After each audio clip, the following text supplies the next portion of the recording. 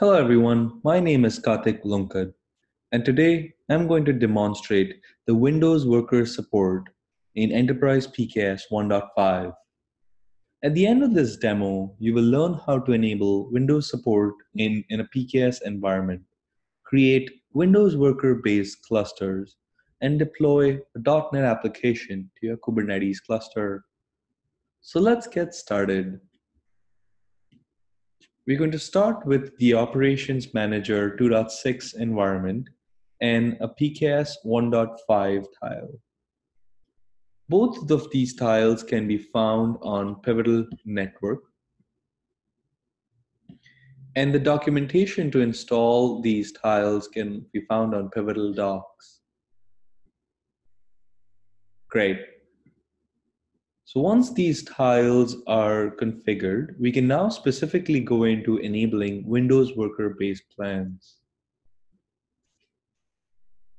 As you can see in the PKS tile configuration, there are 13 potential plans available. Plans 11 to 13 are specifically for enabling Windows Worker-based support. So let's go into plan 11. Let's activate this plan. You can see that there are some details about the plan, like such as name, description. We can add in the description that this is specifically a Windows worker-based Kubernetes cluster. You can see the number of masters is three. We can make this one since this is a demo environment. For production, it's recommended three. We can enable the availability zones for the master you can see the worker number of worker node instances as five. For the demo, we can keep it to three. And also enable the worker availability zone. That's it. Once we have sort of enabled these properties, we can uh, go ahead and save these changes. Go back to my installation dashboard. I can see that the enterprise PKS tile has a missing stem cell. let's go into the stem cell library. Looking here, previously uh, PKS tile required the Ubuntu stem cell only, Ubuntu Xenial stem cell only. Now it has a requirement for the Windows stem cell as well. I've already uploaded the stem cell, so we can go ahead and straight away assign it and save those assignments. That's it. Once I've done this, I can now go ahead and review the changes and go ahead and deploy the tile Specifically, we want to go into and, and deploy the PKS tile. This tile will ensure that the changes to enable a Windows worker-based plan are configured with the PKS API.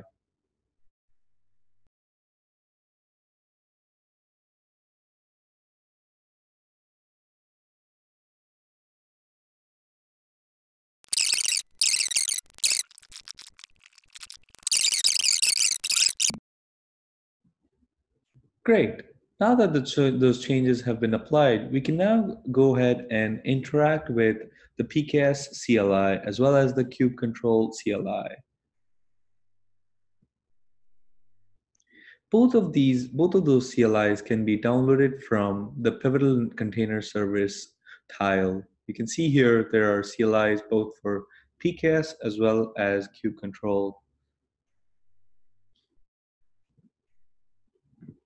Let me go ahead and log in with the PKS CLI.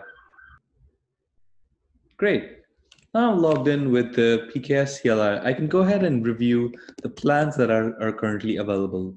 We can see that there are two plans available. One, a small plan to create a lightweight Kubernetes cluster, as well as a plan 11 for in conf configuring a large Windows worker-based Kubernetes cluster Fantastic. Now that I have this available, I can go ahead and use this to create a cluster. I'm also providing an external host name. That way I can use that to target the particular cluster.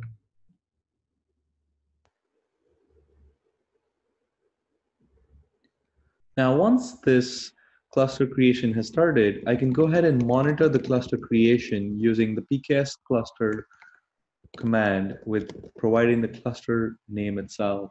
So you can see that the cluster is, is in creation progress.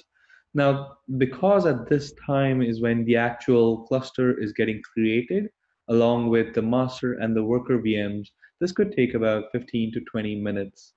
So let's let, let this happen over the next 15, 20 minutes. Great. Let's look at if the cluster has been created successfully. We can use the window PKS cluster Windows cluster demo command to actually see if the cluster has been created successfully. Awesome, looks like it has. I've also gone ahead and created a DNS entry to map the Kubernetes master host with the Kubernetes master IP. I can now use the pks get credentials command to get the Kubernetes configuration. This is an important inflection point.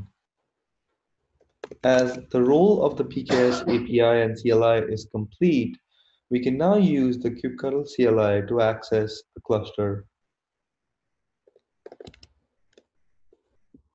I can also use the kubectl proxy command to get the dashboard for this particular cluster to view the resources deployed. Great. We can see that the Kubernetes service is the only service that's deployed in this cluster. We can go into the nodes and see what are the sort of the various nodes deployed. There are four nodes here that you can find. We had specified three nodes in the plan. There's an additional fourth node for system services. Awesome, let's go and look into one of these. You can see that the Windows Worker node, this is a Windows Worker node, and specifically has the Windows Server 2019 deployed. Awesome. We can now go ahead and deploy a sample .NET application. Let's look at the manifest for it. I've specified a service as well as a deployment. And I'm using, if you look at the image itself, you can see that I'm referring to the Microsoft IIS Docker image.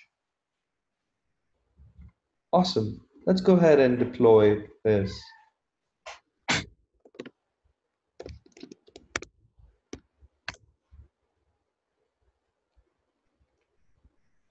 Great. Let's go ahead and see in the dashboard if there are new resources that have been created.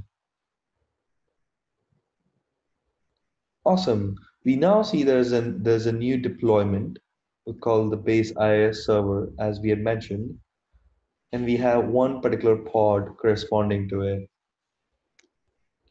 To, act, to access the service itself that was created, we can use the service information. So let's go ahead and look at the services. We can see that the base IIS server has been deployed to this particular port. So a combination of this port and the node IP that, that can be retrieved from the nodes section, we can see the actual application being deployed.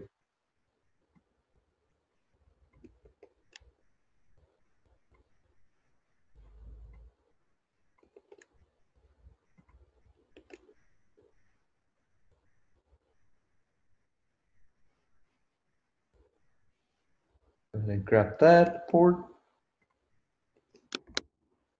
Great. There we go. And here's our sample .NET application deployed. So we have completed successfully enabling the Windows Worker plan, deployed a PKS with Windows cluster, and deployed a .NET pod to the Kubernetes cluster. Thank you for watching and hope this was useful to you.